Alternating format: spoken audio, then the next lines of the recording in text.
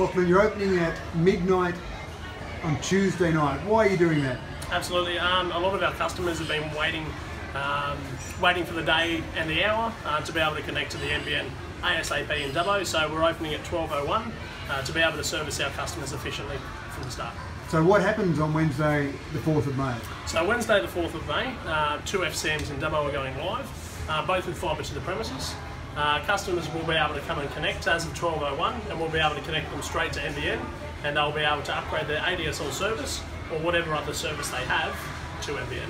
So I seem to see a stormtrooper in the background and you seem to have a lightsaber in your hand. So Yes. what's the significance? We're, we're, we're opening up for uh, Star Wars Day, which is uh, May the 4th. May the 4th be with you. So uh, we're doing a bit of an NBN release on, on Star Wars Day. So Star Wars Day is the day that Dubbo will be Yes. connected to the NBN. Star, International Star Wars Day is the day that Dubbo will be able to connect to the NBN. NBN, bring it on. Axxis, connecting your digital world since 1989.